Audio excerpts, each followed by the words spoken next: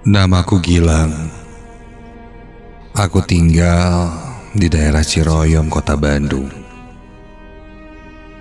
Pengalaman ini aku alami tujuh tahun yang lalu. Waktu yang sangat lama memang, tapi saking mengerikannya kejadian yang aku alami ini, aku jadi tidak bisa melupakannya. Aku masih ingat detail kejadiannya. Tepat ketika aku masih bekerja di salah satu atau sebuah minimarket.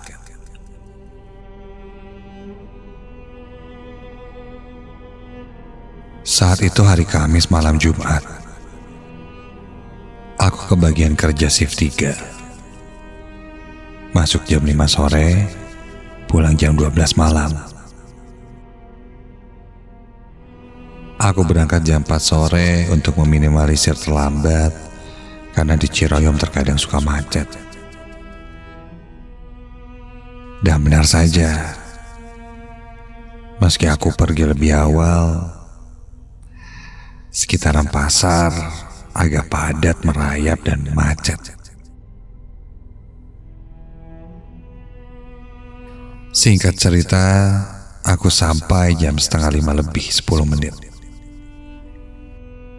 Aku langsung masuk ke toko dan di sana ada empat rekan kerjaku. Sebut saja mereka Agam, Taufan, Tresna, dan Pak Irwan, kepala toko.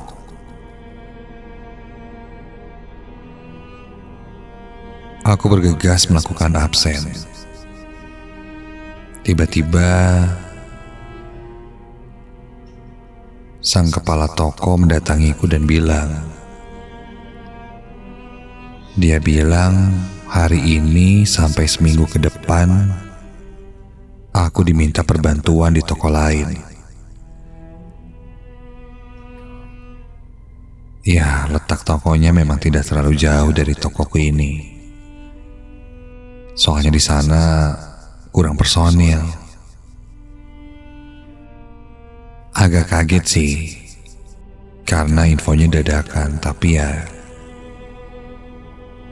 apa boleh buat? Ditambah aku masih anak baru saat itu ya aku terima saja permintaannya.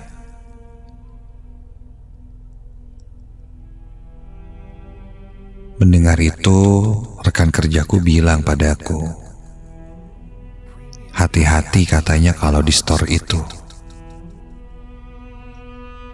Kontan aku bertanya, memang kalau di store yang itu kenapa?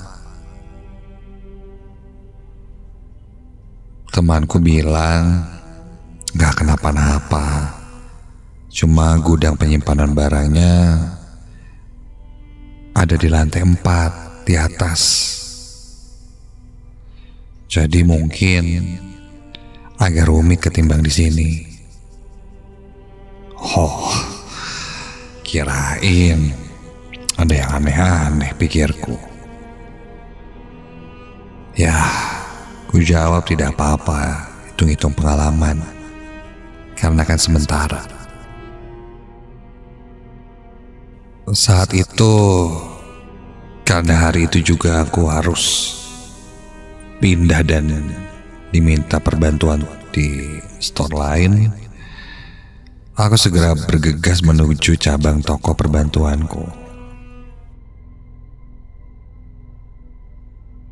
Singkat cerita, aku pun sampai di sana. Sebuah jalan yang bisa dibilang jalan ini banyak dilalui orang-orang, bahkan salah satu jalan yang cukup populer di Bandung.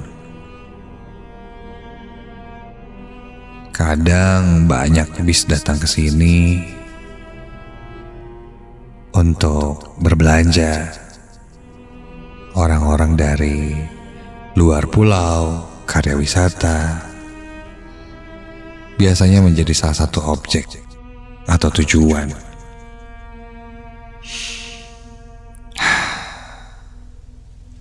Sampai di sana aku segera masuk ke toko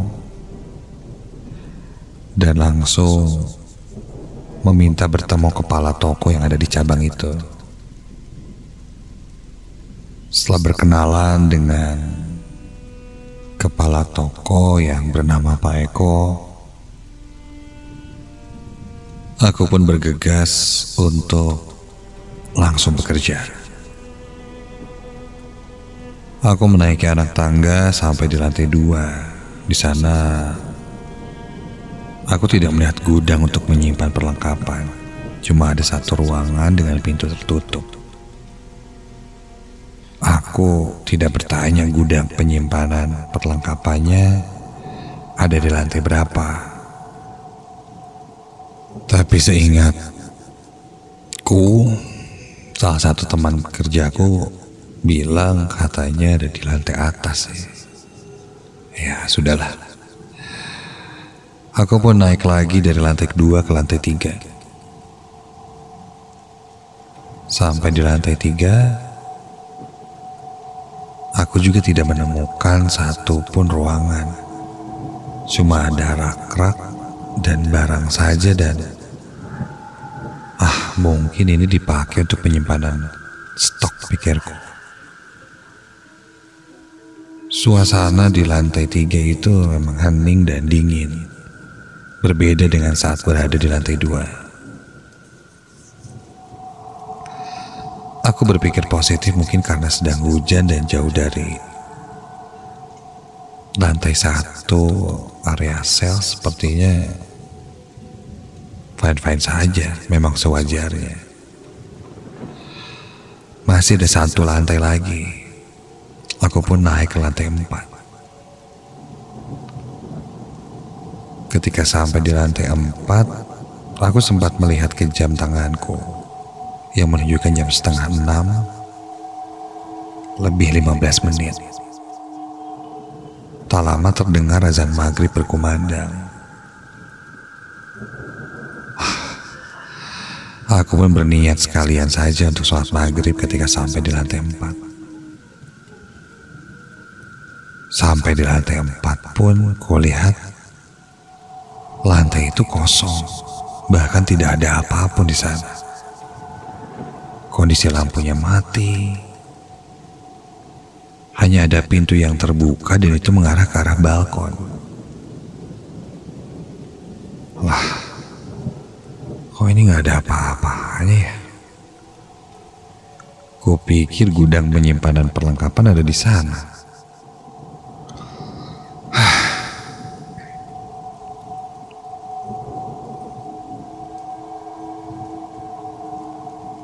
Aku pun coba berjalan di lantai empat itu, mencari sakral lampu untuk menyalakan lampu yang ada di lantai empat.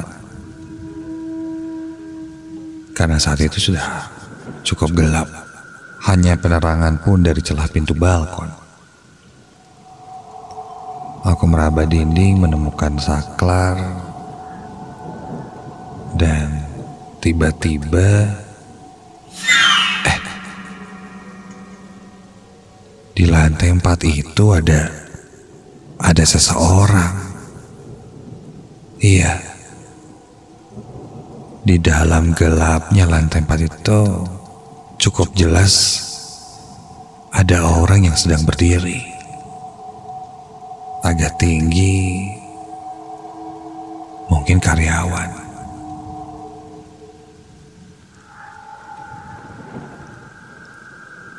Agak samar sih memang terlihatnya, tapi cukup jelas sih. Ada seseorang yang berdiri dan mungkin itu karyawan. Karena tidak menemukan saklarnya, aku pun perlahan mendekati orang itu. Jalan semakin dekat, berniat untuk menanyakan di mana saklar lampunya dan sedang apa dia di sana. Dan ketika ku dekati orang itu, astaga.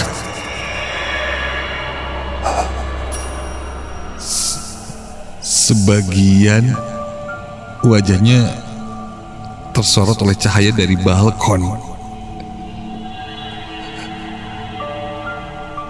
Dan aku ter perajat kaget ketika kulihat orang yang di depanku itu tidak memakai seragam karyawan. Mereka memakai bu memakai baju jubah hitam. Rambutnya panjang. Dan dan sangat berantakan. Iya, sosok itu berdiri kaku, melihat ke arahku sampai kepalanya terlepas dari badannya. Kontan aku langsung lari terbirit-birit turun ketakutan.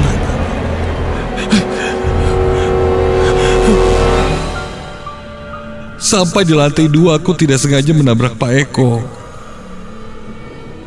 Pak Eko langsung bertanya padaku kenapa aku terlihat panik dan ketakutan. Saat itu aku tidak langsung menceritakan apa yang kualami.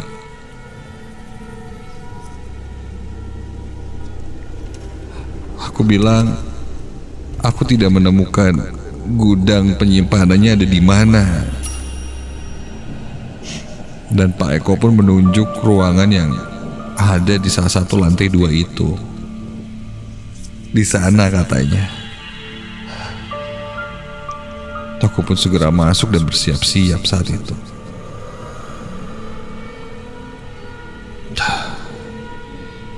Aku coba tenangkan diriku.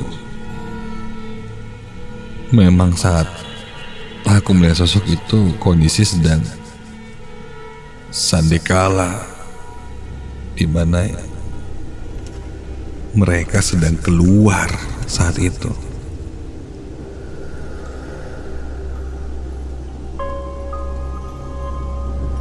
Tak berapa lama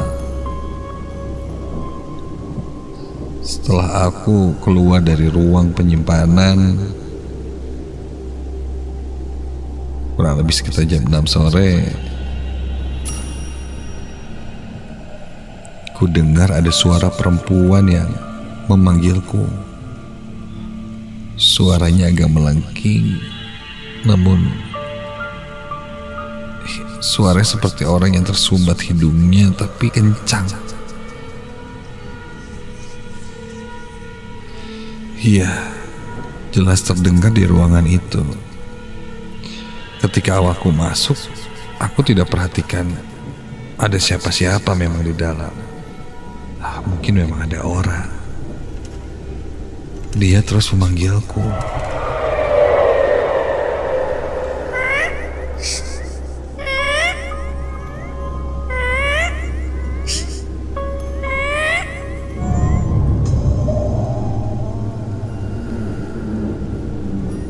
Terdengar memang agak aneh. Ku tengok ke belakang, ada yang sedang duduk di pojok ruangan itu. Seorang perempuan, rambutnya agak panjang.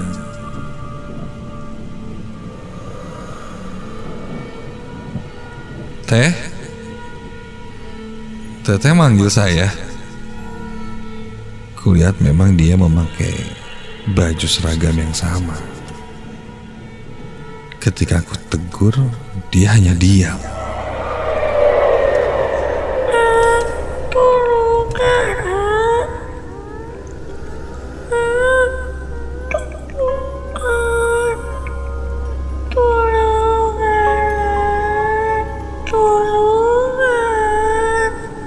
Teteh kenapa teh?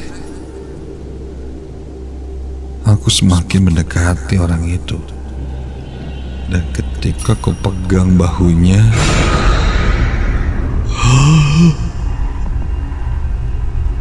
Aku tidak bisa bergerak sama sekali Bahkan untuk berteriak atau memejamkan mata pun aku tidak bisa Rasanya Orang itu memaksaku untuk melihat terus wajahnya.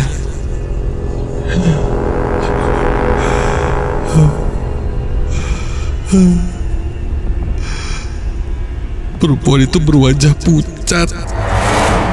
Kedua matanya putih, rambutnya panjang. Dan jelas itu bukan sosok manusia.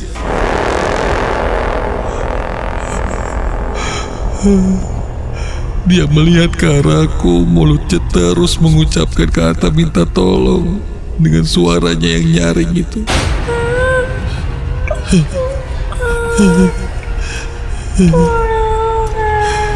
Nani.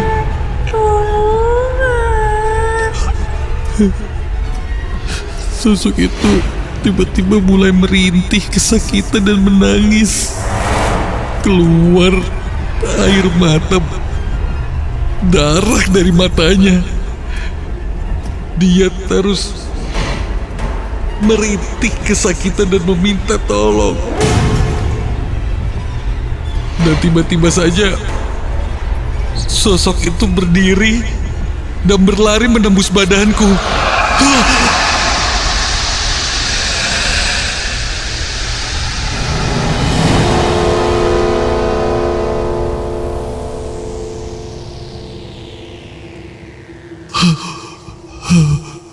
Seketika itu badanku bisa kugerakkan lagi.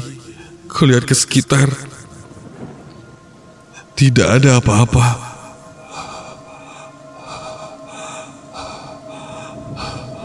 Kepalaku pun pusing dan aku pun duduk sejenak. Rasanya pandanganku mulai kabur dan aku pun tidak sadarkan diri. Yang kurasakan seperti itu tapi saat itu aku entahlah seperti mimpi tapi terasa nyata. Aku berada di sebuah hutan dan rawa. Di depanku ada satu rumah besar. Aku seakan digiring untuk masuk, untuk masuk ke rumah itu. Ketika aku masuk ke rumah itu tiba-tiba kulihat ada sosok perempuan. Sepertinya ketakutan, dikejar-kejar, dan akhirnya terjatuh dari lantai dua rumah itu. Ketika perempuan itu terjatuh, kepalanya berlumuran darah. Seketika, ketika melihat itu, sosok perempuan yang ada dalam mimpi ku itu melihat ke arahku. Tatapannya nanar dan seketika aku langsung tersadar. Ketika tersadar, aku sudah bersama Pak Eko dan beberapa teman-temanku yang bekerja di di store itu. Mereka bertanya kenapa aku terlihat pucat dan pingsan. Kalau kecapean atau tidak sanggup ya tidak usah bekerja. Aku pun akhirnya meminta untuk izin pulang. Untungnya kepala toko pun mengizinkannya karena melihat kondisiku sangat kacau. Singkat cerita,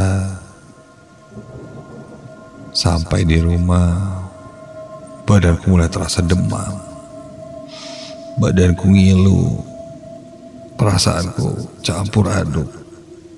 Entahlah, segala yang ada di badanku terasa tidak enak. Ketika aku mencoba untuk tertidur di rumah, sekitar jam 12 malam, terdengar ada ketukan di pintu depan rumah yang terus mengetuk-ngetuk. Kebetulan saat itu aku masih terbangun. Aku pun turun ke bawah dan baru saja akan membuka pintu itu.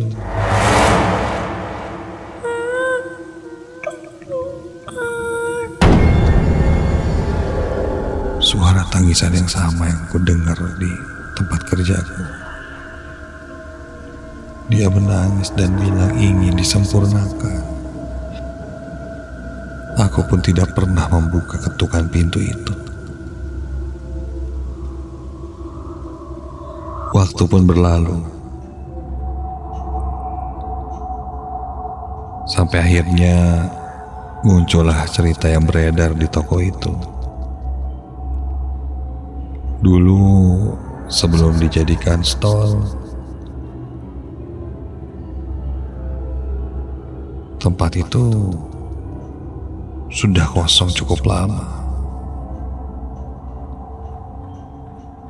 Dan kata orang-orang memang cukup angka. Entah ada cerita apa di balik tempat itu. Yang jelas, niat saya adalah bekerja. Jika kalian memang ada di sana, di mana pun kalian berada, sama-sama kita tinggal di sini dan jangan mengganggu. Itu yang selalu kuterapkan kali ini.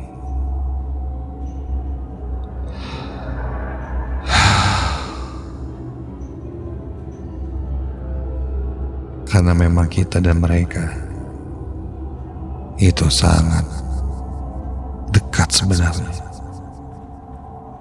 Karena hidup saling berdampingan.